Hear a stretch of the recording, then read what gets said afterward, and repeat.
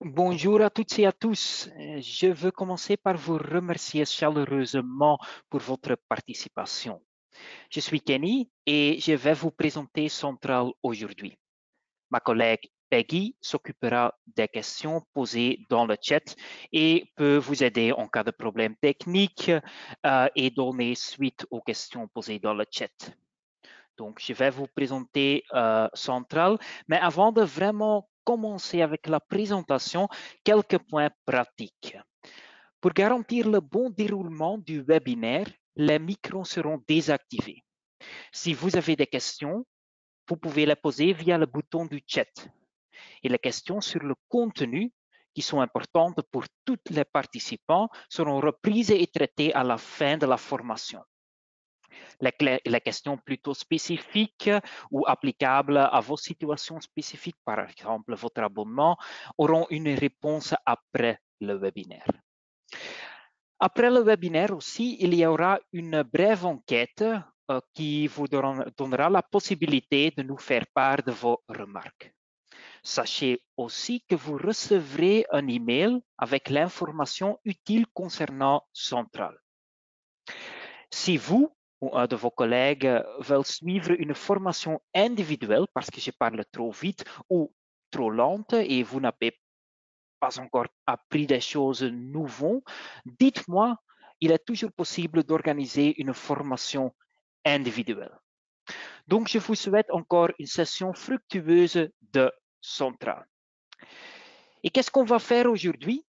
Je vais vous montrer certainement le contenu de Central. Il est important de connaître les différents types d'infos de Central afin de pouvoir les appliquer comme filtre et de faire diminuer le nombre de résultats. Je vais vous montrer aussi comment lancer des recherches. Bien entendu, il y aura une barre de recherche qu'on peut utiliser, mais je vous montrerai aussi d'autres options de recherche. Je vous montre aussi les trucs et les astuces et quelques nouveautés depuis fin décembre de l'année passée. On va aussi parler des fonctionnalités de Central qui vont vous permettre, entre guillemets, de personnaliser un peu la base de données. Je ne vais pas vous parler des accès différents parce qu'on a un groupe assez diversifié, donc je ne vais pas parler des abonnements. Il y aura, a des accès différents possible. Donc, si vous avez des questions concernant votre abonnement, contactez-nous. Euh, on va répondre à votre question, mais moi, je ne vais pas en parler aujourd'hui. Je veux seulement parler d'une petite nouveauté parce que maintenant, dans Central, on a déjà trois domaines. Donc, les domaines sécurité, bien-être et environnement. Et à partir du 29 mars, il y aura aussi un nouveau domaine qui s'appelle Central Electricity. Donc, si vous vous occupez de l'aspect technique concernant l'électricité, il y aura un nouveau module disponible dans Central. Donc, si vous voulez en savoir plus, on va vous donner plus d'infos dans la présentation que vous recevrez après, la formation avec un lien et vous allez voir la page avant login sera modifiée, comme vous allez voir ici sur euh, mon écran. Vous aurez aussi la possibilité, si vous voulez, d'essayer le nouveau module ou central gratuitement. Donc, on va vous donner un lien pour consulter ce site web. Vous cliquez sur Essayer central gratuitement et vous avez la possibilité d'indiquer je suis intéressé par le domaine, par exemple, central electricity. Donc, dites-nous si vous voulez en savoir plus et voici, ça sera la nouvelle page de login de Central avec une partie électricité. Maintenant, ça suffit pour euh, le discours de promotion. Donc, sachez bien, il y aura un nouveau module concernant l'électricité. Voici quelques points forts de Central. Bien entendu, je vais les montrer dans Central même. Donc, j'ai la présentation, les experts, inspiration, outils prêts à l'emploi, mais moi, je vais les montrer. Donc, je ne vais pas parler de ce slide que vous avez ici. Je vais, je vais les montrer dans Central même. Et maintenant, je vais switcher vers Central afin que vous pouvez voir les fonctionnalités, les atouts, le contenu dans la base de données vous-même. Voici la page d'accueil de Central. Il y a des parties différentes ici et je vais en parler très vite. Tout d'abord, si vous avez besoin d'aide, si vous avez un problème, une question ou une suggestion, vraiment contactez-nous. Il y a le bouton contact en haut de la page ou en bas à droite, c'est la boule en bleu avec le point d'interrogation. Et là, vous pouvez poser votre question ou proposer une suggestion. Mais il est vraiment important que vous nous contactiez s'il y a un problème ou une suggestion. J'ai eu des cas où il y avait une question concernant les pictogrammes et la possibilité de mélanger les pictogrammes. Le client a posé la question. On a constaté que la réponse n'était pas encore dans Central et donc on a préparé une réponse et on a ajouté le texte. Et je vais le montrer hein, pendant la formation, mais donc vraiment important, contactez-nous et on peut vous aider. Sur la page d'accueil, les différents types d'infos sont là. Il y a aussi un agenda, parce que je vais parler des types d'infos tout de suite. Mais d'abord, la partie l'agenda. C'est le calendrier de Central. Donc maintenant, c'est seulement une formation d'utilisation de Central, mais dans votre abonnement de Central, il y aura aussi des webinaires de faux, où on va parler vraiment des questions concernant la AGSE de fond. Et vous allez voir dans la partie agenda qu'il y a l'option programme. Si vous cliquez là, là vous avez le programme pour les webinaires à venir dans l'année 2022. Mais si vous dites, ah mais je ne peux pas participer au moment où on organise le webinaire, pas de souci, parce que sur la page d'accueil, il y a aussi une option pour voir ou revoir les anciens webinaires. Donc, si vous cliquez ici sur Anciens webinaires, hein, vous avez un aperçu des webinaires du passé dont le contenu est encore à jour. Et si vous dites maintenant, ah, mais je veux revoir le webinaire concernant, par exemple, euh, la mise à jour de l'analyse des risques d'incendie du 8 décembre de l'année passée, vous cliquez simplement sur le titre du document, vous obtenez la page du webinaire et vous allez voir qu'on va vous donner la présentation et aussi le lien pour accéder à l'enregistrement du webinaire. Donc, vous ne devez que cliquer ici sur le lien et on peut revoir le webinaire. Donc, vraiment important, même les webinaires du passé, vous pouvez les consulter et si vous vous allez revoir un webinaire du passé. À partir de 2019, on peut encore recevoir l'attestation de suivi. Même donc si vous ne pouvez pas participer au moment où on organise le webinaire et vous allez simplement revoir le, webinaire du passé, on peut recevoir les attestations de suivi pour les webinaires à partir de 2019. Donc, sur la page d'accueil, une partie des webinaires et c'est un type d'info. Les webinaires de fond sont intégrés dans votre abonnement et normalement, il y aura environ 8 webinaires par an. Il y a aussi une partie à la une avec ici maintenant les mesures contre le coronavirus. J'espère qu'on peut supprimer cette partie, mais ce sont les choses concernant le coronavirus où on parle des actualités, de la législation, des fiches thématiques concernant la COVID-19, etc. Donc les choses qu'on veut euh, mettre dans l'attention, c'est la partie à la une.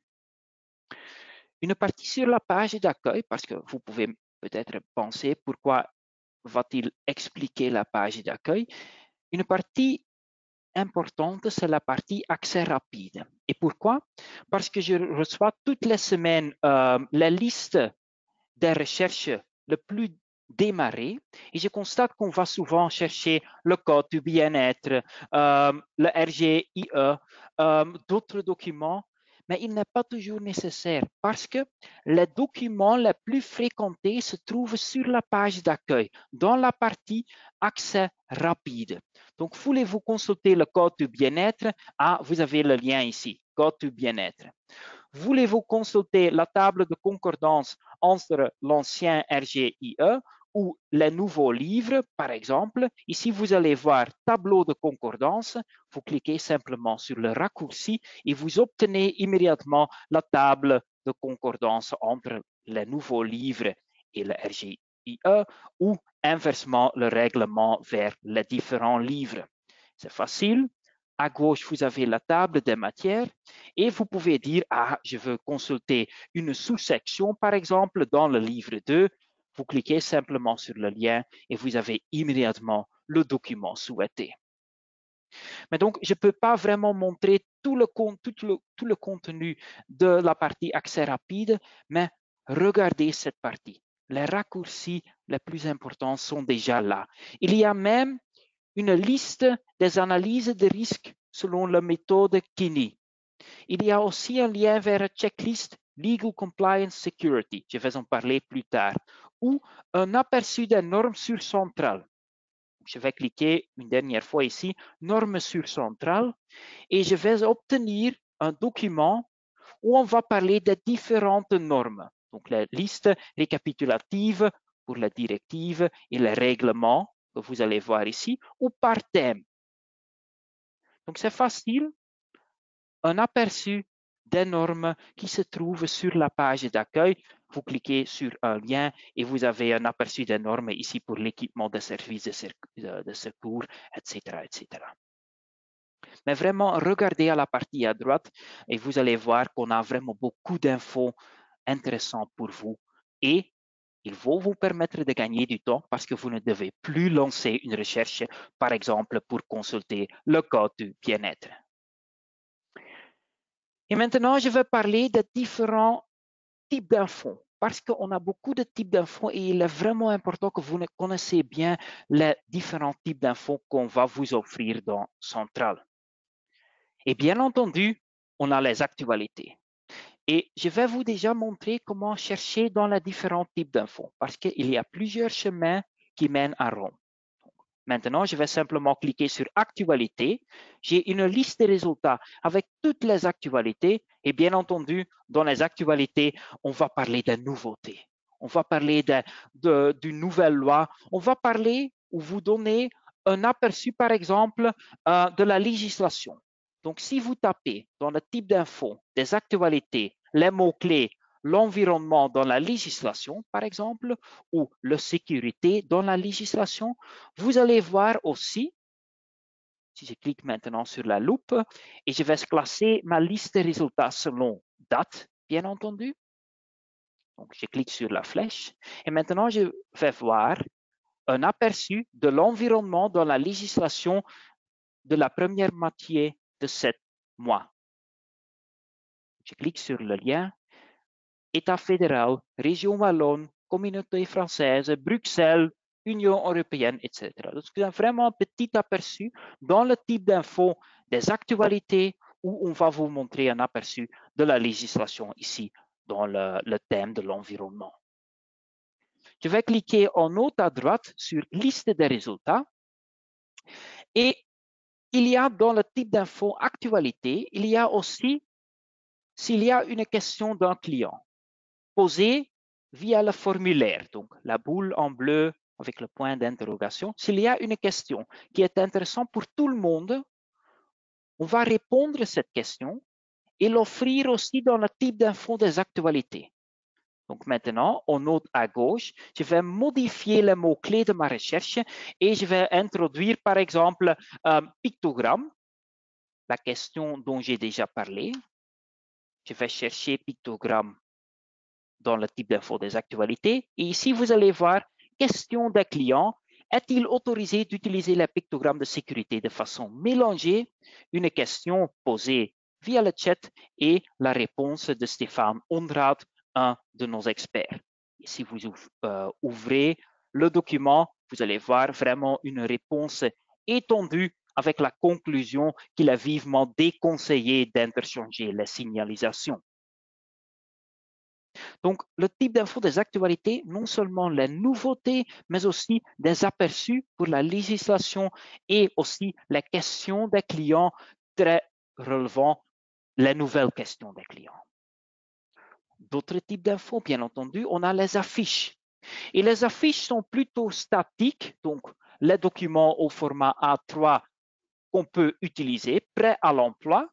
Mais il y a aussi une nouveauté pour les affiches. Et maintenant, autre chemin, je vais taper dans la barre de recherche les mots-clés kit de création.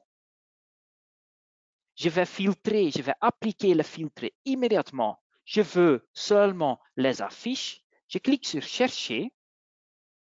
Et maintenant, vous allez voir que dans le type d'info des affiches, on a aussi les kits de création. Donc, qui vont vous permettre de créer vos propres affiches. Je vais le montrer. Je vais cliquer sur télécharger le document et je vais l'ouvrir afin de pouvoir vous montrer. C'est une autre euh, présentation. Euh, voilà ici une présentation kit de, de création EPI et la première slide, on va vous dire comment utiliser cette présentation. Et maintenant, je peux modifier la présentation. Je peux dire, ah, je veux copier et coller cette partie ici. Voilà, et c'est très facile à créer les propres affiches. Très facile, on peut les modifier. Mais donc, c'est vraiment une nouveauté. Dans le type d'info des affiches, vous avez aussi les kits de création. Donc, mot-clé kit de création et appliquer le filtre affiche. Et voulez-vous savoir plus de kits de création? Dites-nous, parce que pour moi, c'est une nouveauté intéressante, mais euh, peut-être pour vous pas, mais dites-nous si vous aimez bien ce type d'infos. Donc, normalement, les affiches prêtes à l'emploi, mais maintenant, la kit de création va vous permettre de créer vos propres affiches. Bien sûr, il y a aussi des pictogrammes. Donc, je vais cliquer à partir de la page d'accueil sur pictogrammes afin d'avoir une liste de pictogrammes disponibles. Je vous montre par exemple l'exemple des pictogrammes COVID-19, aussi les pictogrammes à utiliser. Au format PDF, mais aussi, euh, maintenant je dois faire défiler la page, aussi au format JPEG donc afin de vous permettre de les intégrer dans votre site web ou dans, dans, un email. Donc, il y aura les pictogrammes disponibles. Ce n'est pas le type d'info le plus important, mais ils sont disponibles au format PDF et au format JPEG. Je vous ai déjà montré l'aperçu des analyses des risques méthode Kini il y a aussi, bien entendu, un type d'info qui s'appelle analyse des risques et les checklists. Donc, les analyses de risques vont vous permettre de déterminer la probabilité qu'une menace se produise et vous allez voir, je vais cliquer simplement ici sur analyse des risques et checklist et vous allez voir qu'on a, si je tape euh, maintenant dans la barre de recherche par exemple, pour vous montrer un checklist, euh, gestion de la documentation. Donc, non seulement les analyses de risques, mais aussi gestion de la documentation. Par exemple, il y a un document au format Excel avec une liste de documents à conserver. Selon la législation, selon ISO euh, 45 001. Et donc, vous pouvez télécharger le document, vous pouvez utiliser le document afin de voir, OK, le délai pour la gestion de documentation, le délai pour conserver le document, et vous avez un document à télécharger. Dans la checklist, je vais modifier ma recherche, je vais introduire GAP, par exemple. Il y a aussi les analyses, les GAP analyses. Ici, par exemple, pour le 14001, un checklist pour une gap analyse. Aussi, pour, vous pouvez le télécharger et on va, vous pouvez vérifier si votre organisation satisfait aux exigences de la norme ISO 14001. Checklist, analyse, gap analyse. On a euh, les documents à conserver. On a d'autres checklists aussi, testez-les. On a bien entendu aussi euh, les analyses de risques. Et maintenant, je vais retourner vers la page d'accueil. Je vais prendre le document euh, liste des analyses de risques selon la méthode Kenny et je vais prendre par exemple électrotechnique et froid. Ici, vous allez voir que j'ai un exemple pour l'analyse de risques selon, la méthode Kini. Je vais l'ouvrir et vous allez voir, c'est un document au format Excel qu'on peut remplir, qu'on peut utiliser, qu'on peut modifier. Mais les euh, formules de calcul sont déjà intégrées par les auteurs, par les experts de Wolters Kluwer. Donc, je vais le montrer ici. C'est l'analyse des risques. Je vais euh, cliquer sur Enable Editing et vous pouvez modifier les chiffres. Vous pouvez supprimer le logo de Wolters Kluwer. Vraiment, il est très facile à utiliser et les formules sont là. Les chiffres vont toujours suivre les calculs. Donc, les formules de calcul sont intégrées et donc à utiliser. C'est un type d'info qui est vraiment euh, bien apprécié par les clients, mais sachez bien, donc, on a non seulement les, euh, analyses de risque, mais aussi les checklists. Bien entendu, il y a aussi d'autres types d'infos, les CCT. Je vais en parler très vite, mais les CCT, donc si je tape par exemple 85 et même le mot-clé télétravail, je clique sur chercher, autre chemin. Maintenant, je vais dire, ah, je ne veux que les CCT et je vais appliquer le filtre type d'info CCT après d'avoir lancé la recherche. Je vais affiner ma liste. Et vous allez voir qu'on a la convention collective de travail euh, dans Central. La plupart, ce sont les conventions collectives de travail du Conseil national du travail, mais parfois, il y aura aussi des conventions collectives de travail sectorielles. Mais la plupart, ce sont les CCT du CNT. À consulter. La fiche de sécurité, je vais cliquer ici sur fiche de sécurité. Les fiches de sécurité sont aussi disponibles pour vous. Euh, donc, les documents qu'on peut utiliser pour consulter les règles euh, et les API que vous devez porter quand vous utilisez un outil ou une machine spécifique. Donc, j'ai cliqué sur fiche de sécurité. Maintenant, je vais introduire les mots-clés, par exemple, machine de coupe. Et vous allez voir que les fiches de sécurité sont disponibles au format Word. On peut les télécharger, on peut les modifier, c'est comme vous voulez. Mais vraiment, à partir de la page ou de la liste de résultats, à télécharger, c'est très facile.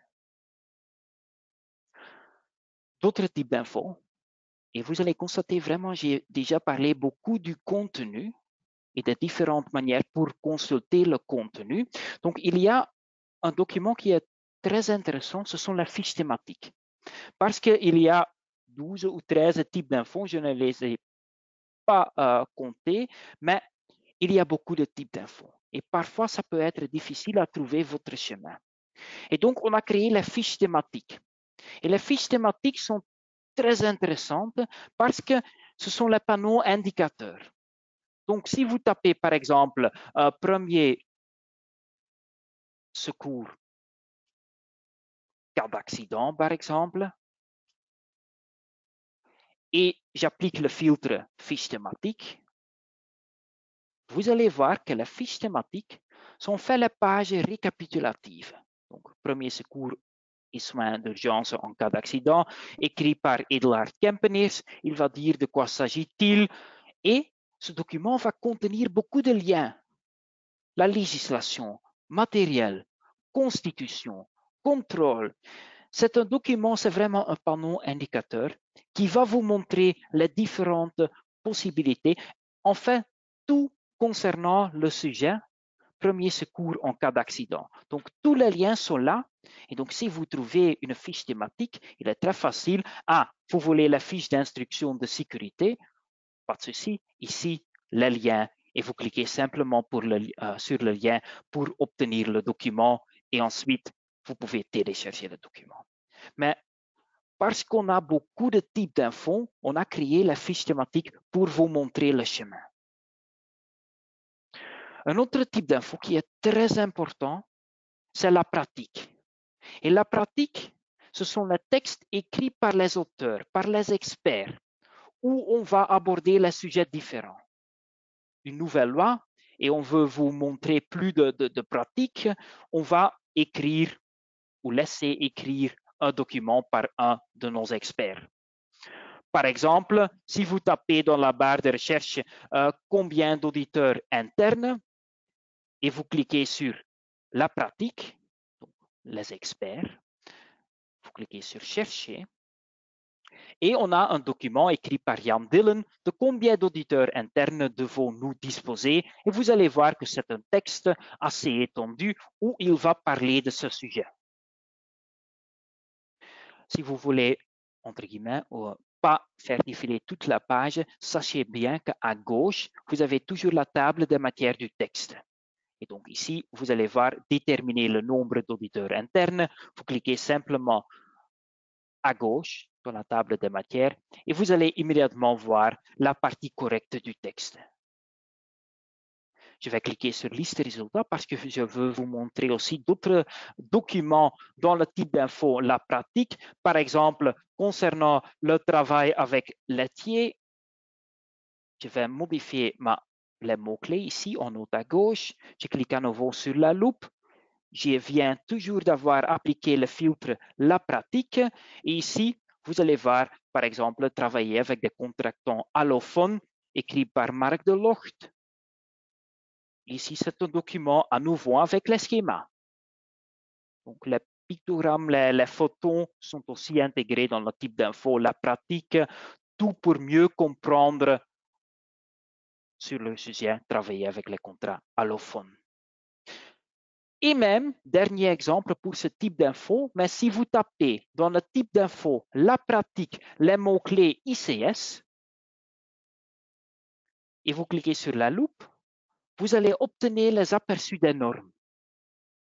C'est très facile.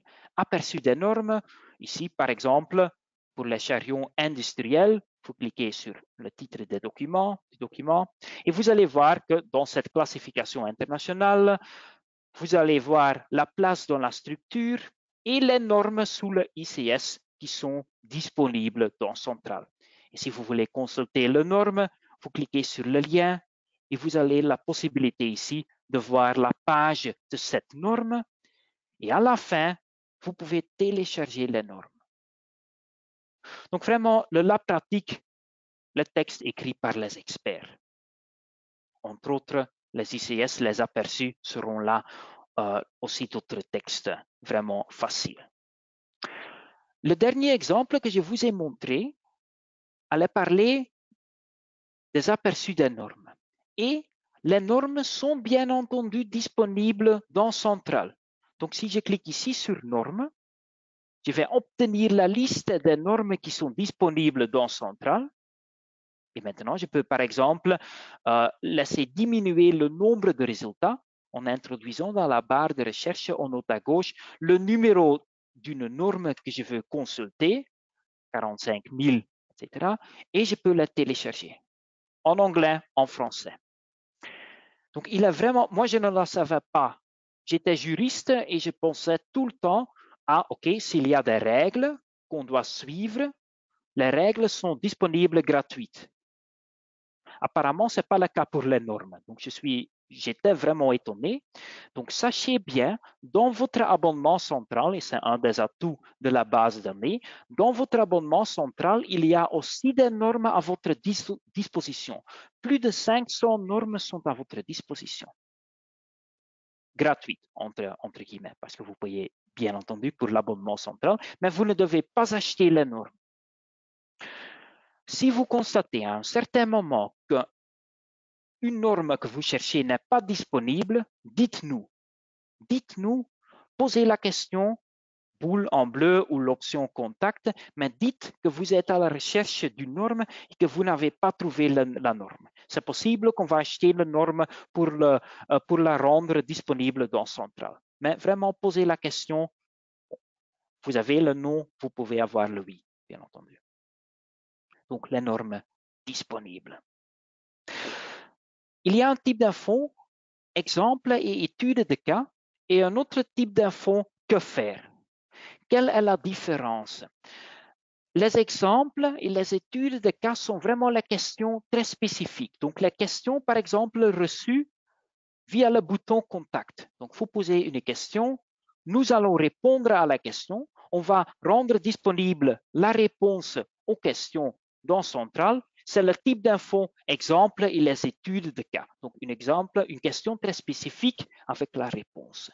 Le que faire, c'est plus, plus en général. C'est plus en général. C'est plus que faire euh, si vous voulez un permis, euh, bon, euh, s'il y a un accident d'exploitation.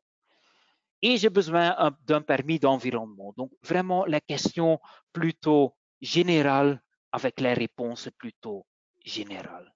Mais si vous me le demandez, si vous avez besoin d'un exemple, ce que je vais faire, taper dans la barre de recherche les mots-clés, par exemple pictogramme, appliquer à la fois les filtres exemple et étude de cas et que faire? Parce que je peux m'imaginer que la différence, l'un est plutôt spécifique, l'autre est plutôt général.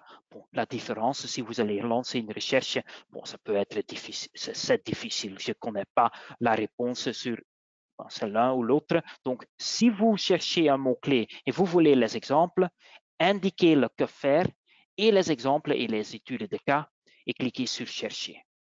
Et donc, vous allez chercher dans les deux types d'infos. Et donc, vraiment, question, posez-les euh, peut-être avec les pictogrammes de sécurité qu'on peut les mélanger ou pas. Bon, c'était une bonne question, mais vraiment la question posée dans le chat, important pour tout le monde. Toujours intéressant de le savoir et de pouvoir répondre. Les toolbox, aussi un type d'infos séparé. Donc, je vais introduire dans la barre de recherche, par exemple, NAPO, donc la petite présentation ou la vidéo, se trouve dans le type d'info Toolbox. Donc, j'introduis NAPO, je clique sur chercher. Je vais voir, ah voilà, il y a de nouveaux films NAPO sur la robotisation, par exemple. Je veux l'aperçu. Maintenant, je vais affiner et je vais dire, ah, Toolbox. Donc, affiner en utilisant le filtre. Et ici, vous avez vidéo NAPO aperçu. Vous cliquez sur le document et vous avez un aperçu de la vidéo NAPO. Je vais cliquer sur liste des résultats. Je vais changer ma recherche parce que, bien entendu, il y a aussi d'autres types d'infos. Donc, si je tape maintenant dans la barre de recherche euh, activité, oui, c'était pas activité euh, et activité, je sais pas, euh, activité physique peut-être, dans le type d'infos des toolbox, voilà, je vois une présentation que vous pouvez utiliser et écrit ou fait par Edelhard Kempeneers et vous avez la possibilité de télécharger la présentation concernant en forme et en bonne santé comment pratiquer une activité physique suffisante. Très facile. On va vous donner l'option et vous pouvez modifier le document, mais on va garder le temps et ce sont les petites présentations, les vidéos dans le type d'info Toolbox. Les modèles, les formulaires sont aussi disponibles. Donc, si je tape par exemple procédure euh, 3 feux verts dans le type d'info des modèles, vous allez voir qu'on qu'on va vous offrir les modèles. À nouveau, qu'on peut utiliser procédure de trois feux verts, formulaire, bon de commande, contrat de location, rapport de mise en service, téléchargeable au format Word et vous pouvez modifier les modèles. Et finalement, le type d'info, la législation, et il y a des nouveautés concernant la législation. Donc, je vais taper dans la barre de recherche article 4, euh, loi bien-être, par exemple, parce qu'on a aussi reçu une très bonne question l'année passée concernant l'historique d'un document. Ici, l'article 4, si vous consultez la législation dans Central, vous avez toujours la version la plus actuelle. Donc, s'il y a une modification, après un délai d'environ cinq jours ouvrables, le document est à jour dans Central. Mais on a reçu une question d'un de nos clients. Il voulait consulter la version précédente d'un article. Et donc, depuis fin décembre de l'année passée, c'est possible. possible, excusez-moi.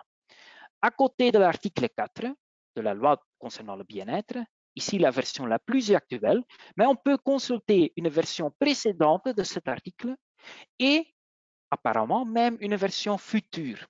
Donc, je vais cliquer sur version future et je vais obtenir la chronologie de l'article. À gauche, j'ai la version la plus actuelle et tout à gauche, j'ai la chronologie. Et je peux maintenant dire, ah, je veux la version future, je veux la consulter et j'ai immédiatement la version future. Et en plus, on va vous montrer la différence entre deux versions d'un article. Donc, si maintenant, je vais sélectionner une version du passé et je vais voir vraiment très facile la différence entre les deux versions d'un article. Donc, c'est toujours la version actuelle avec une version du passé ou une version du futur, mais toujours la version actuelle et on vous montre la différence entre deux versions d'un article. En plus, également disponible depuis fin décembre de l'année passée, vous avez non seulement le texte de loi, mais si vous cliquez ici sur arrêté d'exécution, vous avez une liste des arrêtés d'exécution liés à l'article 4 et uniquement à l'article 4, pas aux autres articles.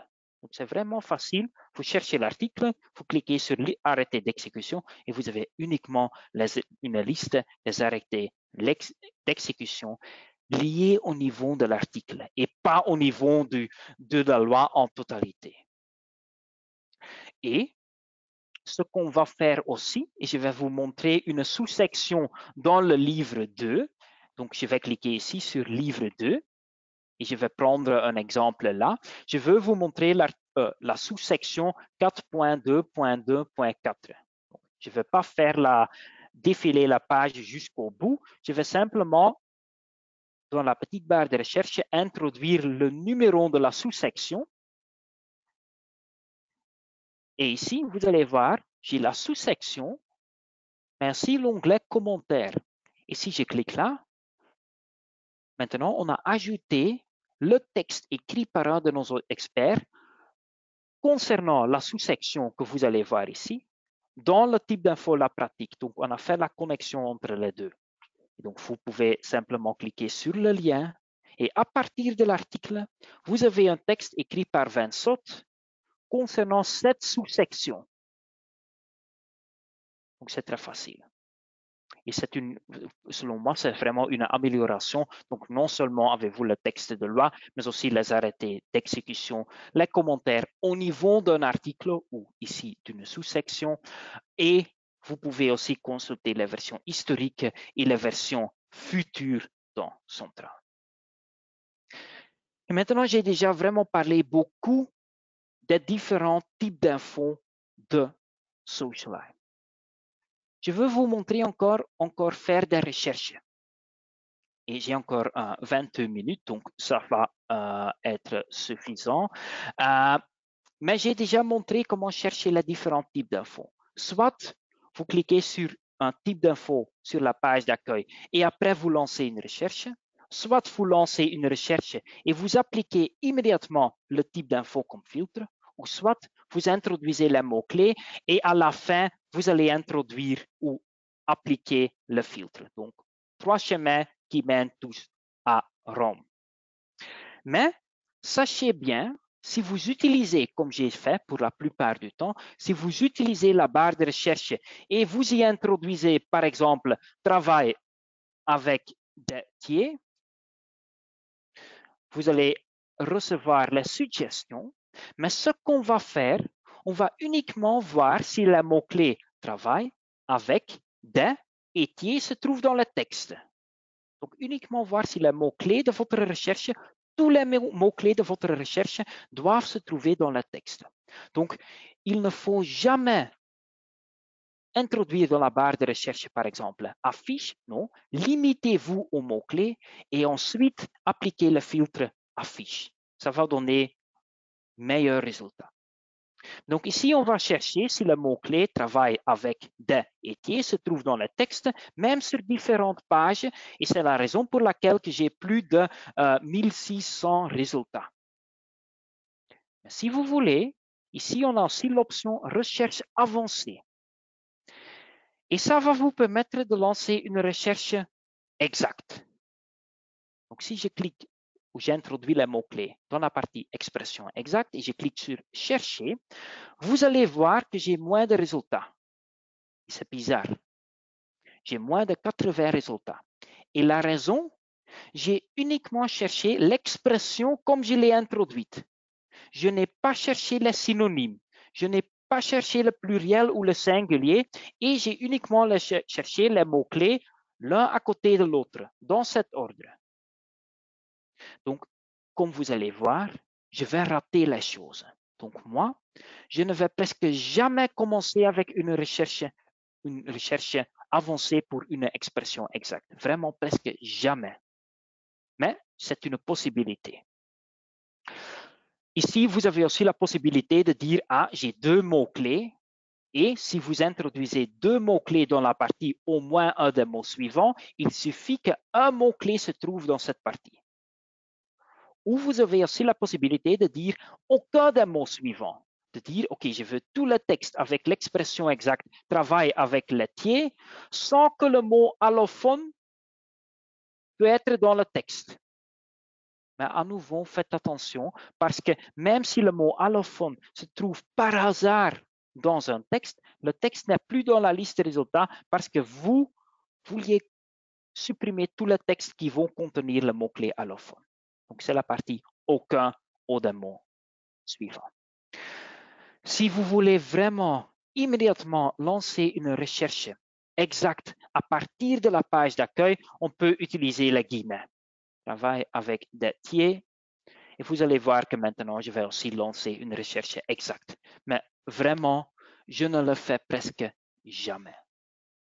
Je vais chercher les mots-clés sans les guillemets. Et si c'est vraiment nécessaire, je vais utiliser la partie recherche avancée. Mais la meilleure option est d'utiliser la barre de recherche afin aussi chercher les mots-clés sur différentes pages les synonymes, le pluriel et le singulier. Si vous voulez une dernière astuce concernant l'utilisation de la barre de recherche, si vous introduisez par exemple décon et vous vous arrêtez, et vous, vous ajoutez l'astérisque, et maintenant vous cliquez sur chercher, Central va compléter votre mot-clé. Donc, déconner et l'astérisque, on va chercher déconnexion, déconnecter, etc., etc.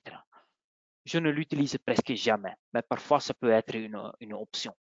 Donc, on va compléter le mot-clé si vous utilisez l'option de l'astérisque. Euh, parfois, il est difficile à trouver les bons mots-clés. Vraiment, il est difficile. Ça peut être difficile. Si c'est le cas, tout d'abord, contactez-nous. Nous sommes là pour vous aider. Donc, si vous ne réussissez pas à trouver le bon mot-clé, dites-nous. Mais, on a aussi d'autres options et vous allez les voir en bas de la page d'accueil. Par exemple, concernant l'option euh, EPI, au lieu de chercher EPI, je vais utiliser la structure. Donc, je ne vais pas chercher les mots-clés, mais je vais dire A. Je veux savoir plus dans la partie sécurité au travail concernant les équipements de protection. Et je vais ouvrir la structure de centrale, la structure thématique. Je veux les EPI, équipements de protection individuelle. Je clique ici sur équipement de protection individuelle j'ai une liste de résultats avec plus de 300 résultats. Mais la différence, le sujet de chaque texte que vous allez voir ici dans la liste de résultats chaque texte que vous allez voir ici va parler des EPI. Je n'ai pas encore utilisé le mot-clé, mais chaque texte est pertinent. Donc, c'est une possibilité de vraiment utiliser la structure, pas chercher le mot-clé, mais vraiment une liste de résultats basée sur la, structure thématique de centrale. Par exemple, pour le travail avec laitier, je peux cliquer sur catégorie et fonction spécifique. Je vais, voir qu'il y a une catégorie travailler avec datier. Et si je clique là, j'ai la liste des résultats avec moins de 40 résultats, mais tous les documents vont parler des travaux avec laitier. Et donc, c'est facile. Et si vous dites, parce que maintenant, j'ai tous les textes, je peux cliquer en haut à droite sur Voir les filtres choisis. J'ai tous les textes où on parle travailler avec laitier. Si vous dites maintenant, et dans ce texte, je veux chercher le mot-clé allophone, c'est facile. À nouveau, on peut utiliser la barre de recherche et je peux chercher le mot-clé allophone, mais dans le texte où on parle déjà du travail avec laitier. Et comme ça, on va diminuer le nombre de résultats encore plus. Donc moi, pour la plupart du temps, je vais utiliser la barre de recherche et chercher les mots-clés, mais parfois, il peut être facile à utiliser la structure de centrale. Environnement, sécurité au travail, médecine au travail ou médecine du travail, excusez-moi, ou le nouveau euh, module électricité qui sera disponible plus tard. Vous allez seulement voir les abonnements que vous avez ici. Donc, si vous avez uniquement la sécurité au travail, vous n'allez pas voir les autres deux options. Mais c'est une possibilité d'utiliser la structure de centrale. Et maintenant, je veux vous encore parler des fonctionnalités. Donc, si vous avez trouvé un document qui est intéressant, sachez bien, si vous cliquez sur votre nom, Là, on peut consulter son historique. Votre nom historique, ce sont les 100 derniers documents que vous avez consultés. Il y a aussi un onglet historique de recherche. Ce sont les 100 dernières recherches que vous avez lancées. Mais faites attention, uniquement la recherche. Si vous avez une recherche, vous lancez la recherche et ensuite vous ouvrez un document. Si c'est le cas, la recherche est sauvée. Sinon, on ne va pas sauver cette recherche. Donc, uniquement les 100 dernières recherches qui sont pertinentes. Mais donc aussi pour les documents récemment consultés, c'est seulement une liste. Chaque document que vous avez consulté est là, mais seulement les 100 derniers documents. Donc ça peut être une option, et ce n'est pas encore le cas. Ça peut être intéressant d'avoir la possibilité de dire, OK, j'ai trouvé un document, et je vais mettre de côté ce document pour plus tard. Ce n'est pas pour maintenant, mais c'est pour plus tard. Et donc, que vous avez la possibilité avec un clic de dire, ah, ce document m'intéresse, vous cliquez et vous allez mettre de, côté ce document. En ce moment, ce n'est pas encore possible, mais c'est une question et peut-être euh, Peggy, pourriez-vous lancer un petit sondage parce que c'est une fonctionnalité qui n'est pas encore disponible pour, avec un clic, mettre de côté les documents que vous aimez bien mettre de côté, structurer chronologiquement, mais vraiment clique et mettre de côté un document. Donc, euh, ce n'est pas encore possible, mais maintenant, je veux profiter, j'ai l'occasion de poser la question. Ça peut être intéressant pour vous ou pas? Donc, peut-être, Peggy, pourriez-vous, voilà, Peggy a lancé le pôle. Donc, que pensez-vous de cette option, de cette fonctionnalité? C'est intéressant, c'est nécessaire ou c'est superflu peut-être? Je, vois que tout le monde est en train de, euh, de, cliquer et de répondre. Merci bien. Merci bien aussi d'avoir participé au webinaire. Le temps fait beau. Euh, même ma femme a décidé de, se balader et de pas écouté ma présentation. Donc, vous, vous êtes ici. Donc, je suis vraiment ravi que j'ai les participants. Euh, donc, merci beaucoup. Et je vois que 61% a déjà voté et maintenant, je ne vois plus.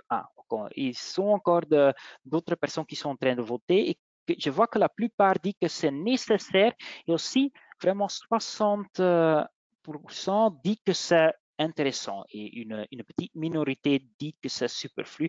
Donc, OK, merci beaucoup. Euh, Peggy, vous pouvez euh, terminer le sondage. Donc, merci bien. Donc, c'est une fonctionnalité, on va, en penser, mais ça peut vraiment être intéressant. Donc, merci bien d'avoir répondu. Il y a aussi d'autres options. Euh, je vais en parler maintenant. J'ai encore 10 minutes et ensuite, on peut, s'il y a des questions, on peut essayer de les répondre. Euh, mais les options se trouvent maintenant dans la barre vert verte à droite. Donc, bien entendu, si vous cliquez sur la flèche, vous pouvez télécharger les documents au format PDF ou, si vous voulez modifier le document, au format Word.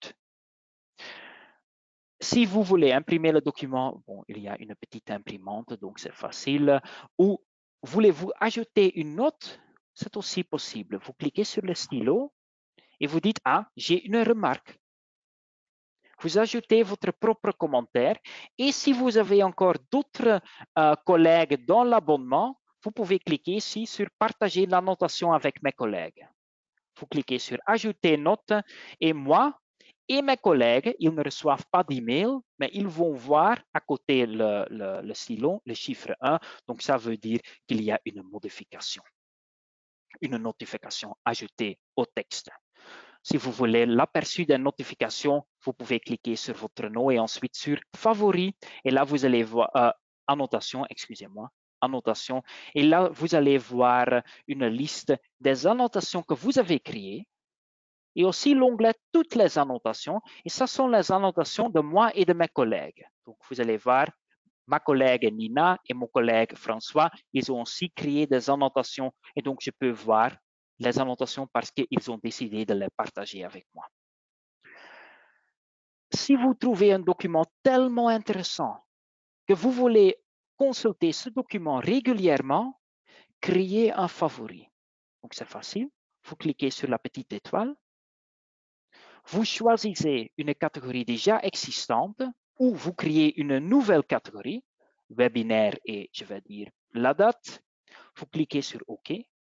Et ensuite, si vous cliquez sur votre nom, finalement sur mes favoris, là, vous allez voir les favoris. L'avantage, n'est pas une copie du document, mais c'est toujours le lien vers la version la plus actuelle, du document. Donc vraiment, je vous prie, je vois, je, je, je, sais que bon, beaucoup des utilisateurs, ils vont imprimer ou télécharger. Mais si c'est un document que vous aimez bien, ajoutez aussi le document favori, parce que vous avez toujours la version la plus actuelle du document disponible dans vos favoris. Donc, vraiment, utilisez cette option. Et finalement, vous allez voir, et ensuite on peut voir s'il y a des questions, mais finalement, vous allez voir si vous cliquez sur votre nom, vous allez voir, on a les paramètres de la lettre d'info. Donc, vous pouvez choisir si vous voulez recevoir la lettre d'info une fois par semaine ou deux fois par semaine. Et vous avez aussi la possibilité de modifier vos coordonnées. Donc, comme utilisateur, si vous voulez recevoir la lettre d'info sur une autre adresse email, on peut modifier votre adresse email ici. Et pour les personnes qui, sont, euh, qui vont gérer le contrat, les admins du contrat, s'il y a quelqu'un qui, qui, qui, part et il y a une autre personne qui va utiliser Central, modifier, vraiment modifier les utilisateurs. Si vous cliquez sur votre nom, on a la gestion d'utilisateurs et là, vous pouvez ajouter les nouveaux utilisateurs ou vous pouvez aussi supprimer les utilisateurs. Donc, si, je dis à un certain moment ah, mon collègue Walter van der Schoor n'a plus besoin de centrale, je peux supprimer l'utilisateur. Si l'adresse email de Walter va changer et je veux modifier le login de Walter, je peux cliquer ici sur les trois points. Et là, je peux changer l'adresse email et le login de Walter. Donc, c'est vraiment, je peux le faire si je suis l'admin du contrat. Et donc, si vous constatez un certain moment, vous êtes admin et vous allez partir de votre société, contactez-nous afin d'avoir que nous, avons, euh, que nous avons aussi votre ou l'adresse email des admins. Donc, c'est important pour avoir euh, une, communication plus euh, bon, plus utile, plus facile, euh, qu'on ne doit pas chercher euh, qui est le, euh, bon, comment est-ce qu'on dit ça En néerlandais, on dit opvolger. En français, c'est ah, le successeur. Si vous voulez connaître le successeur, c'est plus facile à, à, avoir le bon adresse email.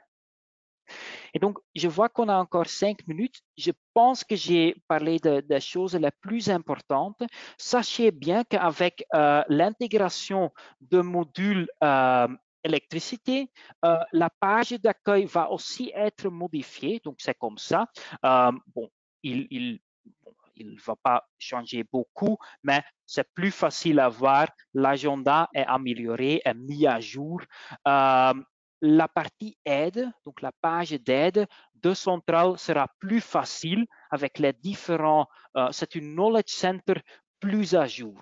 Donc, voulez-vous avoir à partir du 29 mars une page d'aide très à jour? Allez, on peut cliquer sur aide. Vous avez maintenant, c'est ça, mais euh, à partir de la semaine prochaine, cette page sera plus à jour. Et je pense que j'ai traité les choses les plus importantes. J'espère que tout le monde m'a bien compris parce que je ne parle jamais le ou presque jamais le français. Donc, euh, mais s'il y a des questions, s'il y a des remarques, euh, Peggy, dites-moi et je peux essayer de voir si euh, c'est une question à répondre pour, pour tout le monde. oui, merci Kenny.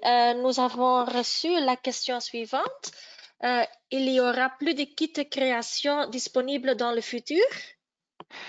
Um, je peux je peux rien promettre, mais c'est la deuxième fois déjà um, qu'on a reçu cette question, donc je vais certainement euh, notifier cette question aux collègues parce que je, je, constate que les utilisateurs aiment bien cette fonctionnalité. Donc, c'est certainement certain, quelque chose euh, à souvenir.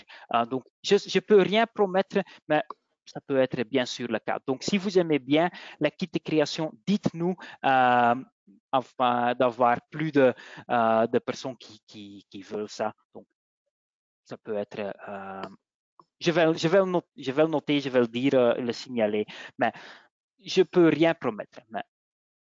Merci bien d'avoir aimé ce type d'info.